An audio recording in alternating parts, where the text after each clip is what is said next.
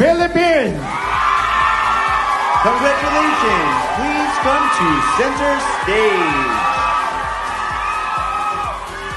Miss Mexico. Congratulations! Please come to Miss Philippines. Miss Mexico. Philippines. Congratulations! Please come to the center stage. Sunnyman.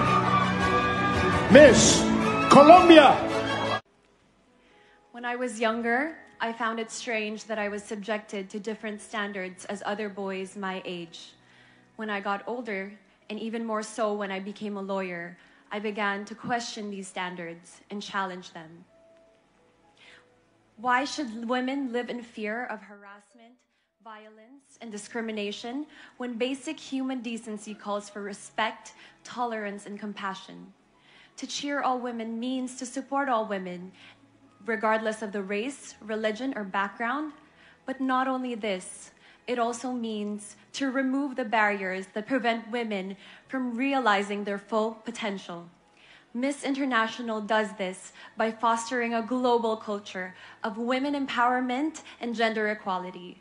And through this platform, we can ensure that no woman, anytime, anywhere is left behind. Domo arigatou gozaimasu.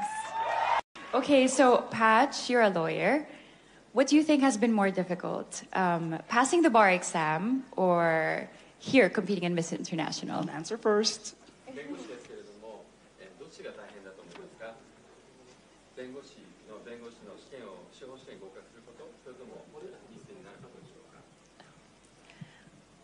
？That's a very difficult question. とても難しい質問ですね。とても難しい。でも、I would have to say beauty pageant was harder for me because it's ミスコンの方が難しいだと思います。because I had training for four years to study. Actually, my whole life I've been studying. And in law school, to succeed, you have to work hard and you have to study. But here in beauty pageants, sorry.